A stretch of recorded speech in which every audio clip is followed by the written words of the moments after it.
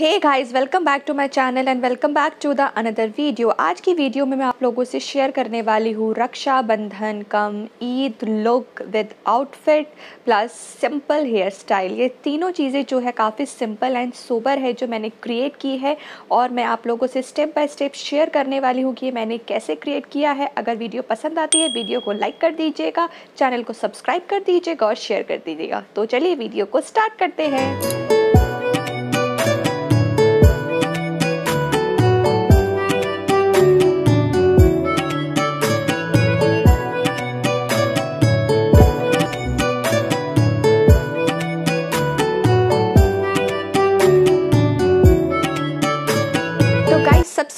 Makeup start करने के लिए मैंने यहाँ पे खादी नरिशिंग क्रीम ली है सैंडलवुड की है, ये मैंने अमेज़ोन से परचेज़ की थी, ये काफ़ी अच्छी क्रीम है, ये ड्राई एंड ऑयली स्किन दोनों के लिए काफ़ी ज़्यादा अच्छी है।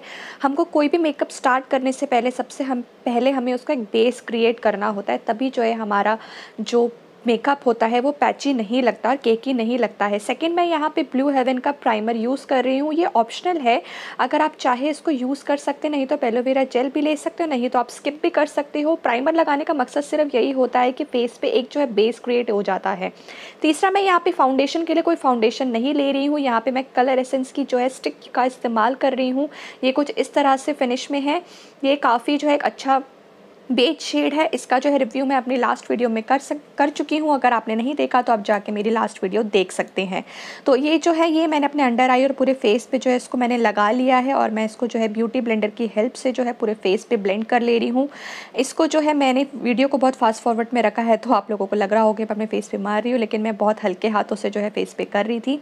अब मेरे पास जो मैं कंसीलर का इस्तेमाल कर रही हूँ कंसीलर मैं इसलिए लगा रही हूँ क्योंकि मुझे जो है थोड़ा सा जो है आई मेकअप लगाना है। तो ये हाइट में हिकी का स्टेरी स्टे खुरकी का जो है ये कंसीलर है। ये काफ़ी पेन स्टिक में है और काफ़ी अच्छा जो है फेस पे लग जाता है। ये मैं काफ़ी क्वांटिटी में नहीं लगाऊँगी। मैं जो है हल्के हल्के जहाँ मेरे स्पॉट्स हैं और बेसिकली मैं हाईलाइट करने के लिए अपने अंडर आई में और अपर आई में लगाऊँगी। और बेस्ट पार्ट इस कंसीलर का ये है कि ये देखिए, मैं अपनी आईब्रोज़ को भी इस इससे मैं हाईलाइट कर रही हूँ। इसके लिए मुझे कोई एक्स्ट्रा ब्रश की भी कोई रिक्वायरमेंट नहीं है। तो जो है, अगर आप चाहे इसको आप एक बार परचेज़ करके देख सकते हैं। इसको जो है मैं टेन आउट ऑफ़ टेन दूँगी और इसको मैं काफ़ी टाइम से यूज़ कर रही हूँ और इसको मैं अपनी काफ़ी वीडियोज़ में भी इसका रिव्यू कर चुकी हूँ। इसको अब मैं जो है ब्यूटी ब्लेंडर की हेल्प से जो है अच्छे तरीके से ब्लेंड कर लूँगी। कंसीलर फाउंडेशन कुछ भी लगाएँ, सबसे उसका ज़रूरी काम होता है उसको ब्लेंड करना, उसके ब्लेंडिंग प्रोसेस अच्छी होनी चाहिए। फिर मैं यहाँ पे ब्लू हेवन का सफ़ायर जो है लूज़ पाउडर यूज़ कर रही हूँ, आप चाहे कोई कॉम्पैक्ट पाउडर भी यूज़ कर सकते हैं। यहाँ पे जो है मेकअप को सेट करने के लिए लूज़ पाउडर मैं लगा रही हूँ, ये मैं बार बार बाहर इसलिए देख रही हूँ क्योंकि मुझे जो है मेरी बालकनी के बाहर जो है बंदर दिख रहे थे तो मैं डर रही थी कहीं वो अंदर ना आ जाए। अब मैंने अच्छे तरीके से जो है कवर कर लिया है। अब मैं अपनी जो आईब्रोज़ को जो है फिल करूँगी, उसके लिए मैंने एक आई पैलेट से ब्लैक कलर पिक किया है। उससे जो है मैं अपनी आईब्रोज़ जो है फिल कर लूँगी। यूजुअली जो मैं आईब्रो पेंसिल का इस्तेमाल करती हूँ, लेकिन इस बार जो है मैंने इसको ट्राई किया है। अब मैंने जो है एक ब्लू हेवन का आई शेडो पैलेट लिया है। ये काफ़ी अच्छा आई शेडो पैलेट नहीं है। इससे जो है फॉल आउट काफ़ी काफ़ी तो नहीं, थोड़ा बहुत फॉल आउट होता है तो मैंने इससे जो है एक मस्टर्ड सा कलर पिक किया है। और इससे जो मैं अपनी क्रीज लाइन पे मैं लगाऊँगी, जब तक जो है मुझे पिगमेंटेशन नहीं मिलती है, मुझे काफ़ी डार्क नहीं लगाना है, हल्का ही लगाना है। तो मैं इसको जो है एक फ्लैश फ्लैट ब्रश की हेल्प से जो है इसको अच्छी तरीके से ब्लेंड कर ले रही हूँ। अब मैंने दूसरा एक पर्पल शेड लिया है।